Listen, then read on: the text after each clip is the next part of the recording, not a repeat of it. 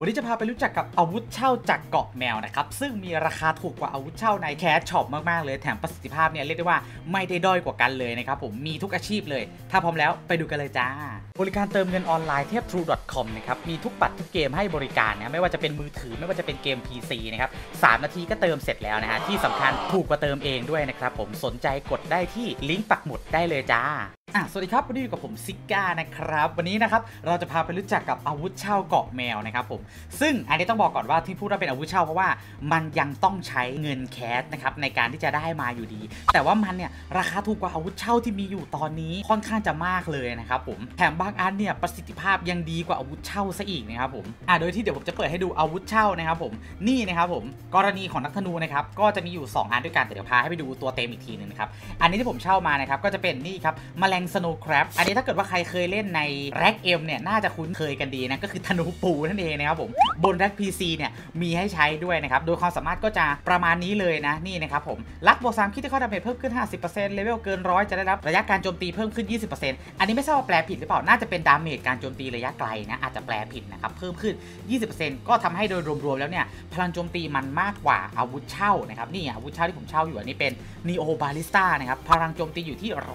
194แต่ว่าความแรงในการโจมตีระยะไกลจะเพิ่มขึ้นนะครับ แต่อันนี้เขาเขียนว่าเมื่ออยู่ในกิลวอร์เพราะฉะนั้นไม่ได้เพิ่มในการฟาร์มปกตินะครับ เพราะฉะนั้นอาวุธธนูปูก็อาจจะดีกว่า แต่จริงๆ แล้วที่ผมจะใช้เนี่ยจะเป็นธนูอีกการหนึ่งนะ ที่หยิบธนูปูมาให้ดูก่อนเนี่ยให้เห็นภาพเฉยๆนะครับผมอะเดี๋ยวมาดูวิธีการกันก่อนเลยแล้วกันนะฮะก่อนอื่นเลยคุณจะต้องไปที่เกาะแมวนะครับโดยการไปเกาะแมวมีอยู่ 2 วิธีด้วยกัน วิธีที่1นนะครับผมถ้าหากว่าคุณซื้อของแคชมะละกอมานะครับผมเป็นกล่องมะละกอนะต้องเป็นกล่องนะฮะ อ กดเปิดออกมาคุณจะได้รับมะละกอตรงในส่วนของเอ็ก t ซี่ตรงนี้ใช่ไหมครับผมแต่ว่าในส่วนของ item เนี่ยคุณจะได้รับนี่ครับมแมลง SP แคนซึ่งอันนี้เนี่ยนะครับจะเป็นตั๋วที่เอาไว้ warp นะครับผมไปยังเกาะแมวนั่นเองนะครับกด double click ปุ๊บ warp ไปเลยนะฮะอันนี้ง่ายนะเข้าใจง่ายๆอยู่แล้ว แต่ว่าเดี๋ยวผมจะพาไปดูอีกวิธีหนึ่งนะครับนั่นก็คือการนี่ครับ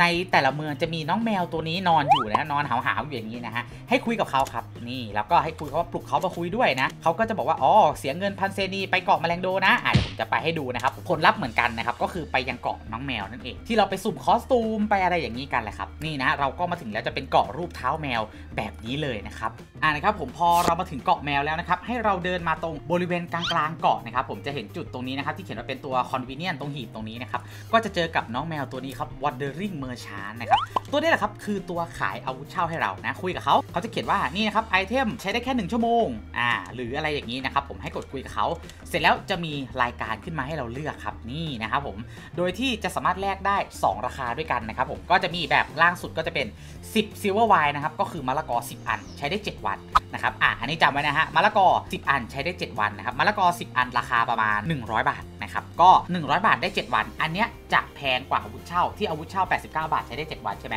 ทีนี้ตัวราคาถูกมันอยู่ตรงนี้ครับ นี่ครับ8 e coin นะครับ เดี๋ยวจะบอกให้อีกทีนึงว่าไอ้ e coin เนี่ยได้มายังไง แต่เอาเป็นว่ามันถูกมาก ตัวเนี้ย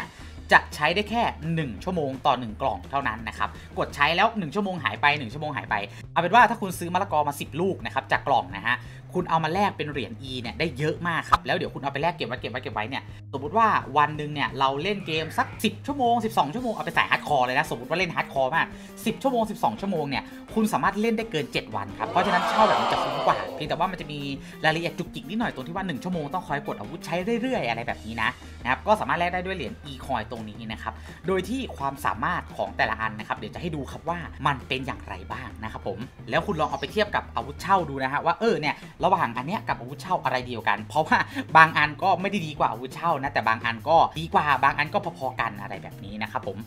ก็เริ่มที่ส่วนของดาบก่อนเลยนะครับ ก็คือ Hairtail นะ ตัวนี้จะได้ critical น้อยกว่ามูรามาสะเช่านะครับ แต่ว่าก็จะได้ cri damage เพิ่มขึ้นมาแถมเลเวลเกิน 100 นะครับ เราสามารถที่จะได้ attack เพิ่มขึ้นมาอีกด้วยนะครับ ผมว่าดีกว่าตัวมูรามาสะเช่าแน่นอนนะในส่วนตัวนี้นะครับ ต่อมาในส่วนหอกนะครับก็คือ Spearfish อันนี้หอกเช่าไม่มีนะฮะใน cash shop เพราะฉะนั้น Spearfish เนี่ยจะไม่มีตัวเทียบเลยนะครับก็ตัวนี้จะเห็นเลยว่าได้รับโบนัสจาก Clashing Spiral แล้วก็ Pierce เนี่ยเพิ่มขึ้นนะครับแล้วเมื่อเลเวลเกินร้อยก็ยังได้แอ t แทกเพิ่มขึ้น อันนี้คือไม่มีตัวเปรียบเทียบนะเพราะฉะนั้นใครใช้หอกต้องมาตัวนี้เลยนะครับผมต่อมาในส่วนกระบองนะครับผมก็คือตัว Tuna นะเจ้าตัว Tuna นี้นะครับผมเวลาตีๆไปแล้วมีโอกาสติด stun นะครับเหมือน Stunner เลยนะครับผมแล้วก็ยังทำให้มีโอกาสใช้ skill Bash ออกมาเองด้วยนะครับผมแต่ถ้ามี skill Bash มากากกว่านะคือกระบองมันใช้โดยนักดาบได้ด้วยนะ ก็จะมีโอกาสที่จะใช้ Bash level สูงกว่าออกมาด้วย อันนี้เรียกได้ว่าสำหรับสาย auto spell ที่ใช้กระบองเนี่ยอย่างมองอย่างพีทบูอะไรแบบนี้ใช้ตัวนี้ถือว่าดีเลยทีเดียวนะครับและเมื่อเลเวลเกินร้อยก็แน่นอนมีโบนัส attack ให้เช่นกันนะครับและอีกแล้วนะครับผมใน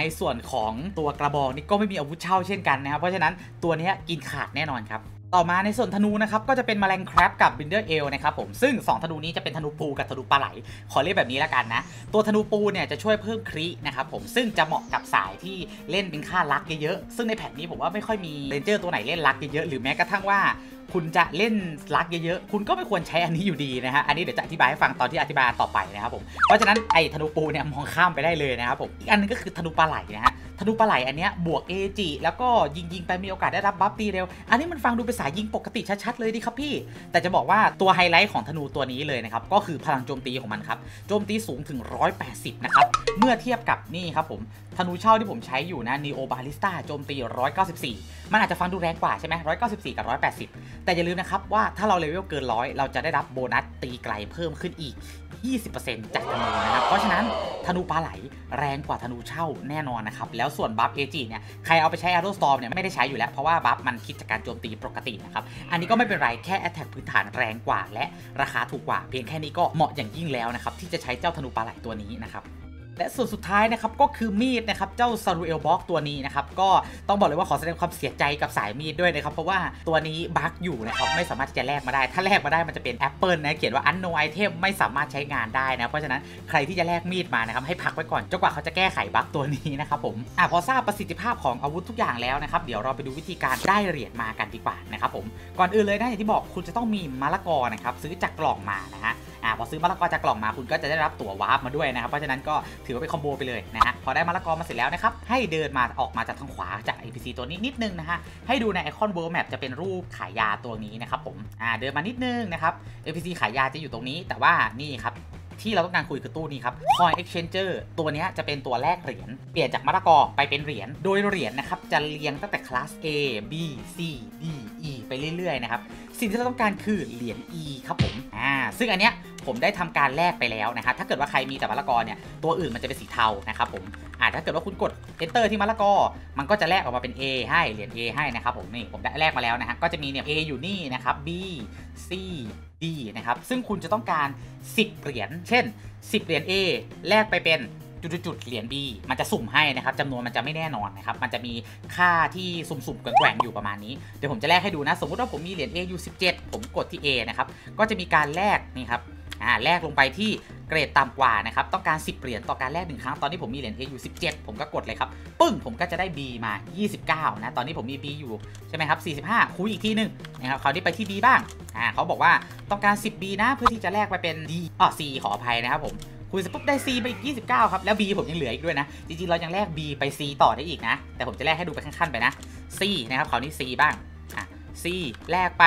D นะครับผมอ่าได้ D มาอีก 28 คราวนี้แลก D บ้างนะครับผมแลก D ไป E นะครับผมนี่ก็จะได้ E มา 26 นี่ก็คือเหรียญที่เราต้องการนั่นเอง โดยที่ถ้าคุณจะแลกเหรียญต่ำกว่าไปสูงเนี่ยมันไม่คุ้มนะเพราะฉะนั้นให้แลกต่ำลงมานะครับอะผมก็มี 49 เหรียญและสมมติว่าผมมี 49 เหรียญนะครับผมก็อยากจะมาเช่าอาวุธตัวนี้นะอะผมก็เดินกลับมาเลยครับผมนี่นะเดินออกมาทางซ้ายนิดนึง ก็จะกลับมายังจุดขายอาวุธตัวนี้แล้วนะครับแน่นอนผมเป็นเรนเจอร์นะครับผมก็ต้องแลกธนูปลาไหลนะครับแน่นอนผมก็จะเลือก นี่เลยครับ Brindle L Box นะครับ มันจะเป็นกล่องนะฮะ อันนี้ดีตรงนี้แหละนะครับ นี่นะเขาจะมีความสามารถอธิบายนะ ใครกด enter ดูในนี้ก็ได้นะครับผม อ่า กดตกลงเลยนะครับผม คุณก็จะได้กล่องมา 1 กล่องนะครับ ก็คือกล่องอาวุธปลา 1 ชั่วโมงนะครับ อันนี้แนะนำว่าให้แลกติดตัวไว้แค่สัก 10-20 อัน พอ เพราะว่าวันหนึ่งเราคงไม่ได้เล่นเยอะขนาดนั้นนะ แล้วอยากจะมาเมื่อไหร่เนี่ย เราก็กด double click ตั๋วมาได้อยู่แล้ว เพราะฉะนั้นใครซื้อมะละกอมันต้องได้อันนี้อยู่แล้วไง ค่อยมานะ เพราะว่าในตัวละครของคนเรานะครับเผื่อใครไม่ทราบนะ เราสามารถเก็บไอเทมได้แค่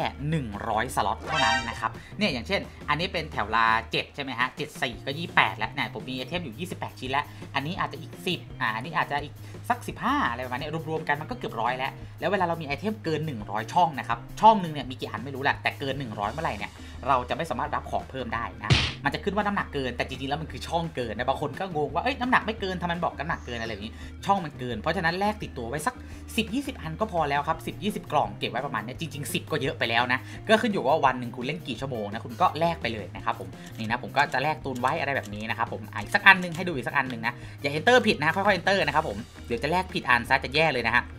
นี่นะก็จะเป็นกล่องที่ 2 แล้วก็ทำการแลกเปลี่ยนเหรียญวนเวียนไปเรื่อยๆ แบบนี้นะครับซึ่งถ้าคุณคิดอัตราชั่วโมงออกมาแล้วเนี่ยสุดท้ายแล้วเนี่ยถ้าคุณเล่นวันหนึ่งสัก 10 12 ชั่วโมงเนี่ยวันหนึ่งเนี่ยมันเกิน 7 วันแน่ๆครับต่อการซื้อมะละกอ 10 ลูกนะเพราะฉะนั้น confirm ได้เลยว่าราคาถูกกว่าอาวุธเช่าแน่นอน ส่วนใครคิดว่าอาวุธเช่าดีกว่า หรือว่าอาวุธเมืองแมวดีกว่า อันนี้ก็แล้วแต่สายอาชีพนะครับลองไปพิจารณากันดูจ้าอ่าเป็นยังไงกันบ้างครับผมหวังว่าทุกคนจะได้รับประโยชน์กันนะครับผมใครมีอาวุธดีอาวุธเด็ดยังไงลองคอมเมนต์บอกกันสักหน่อยนะครับผม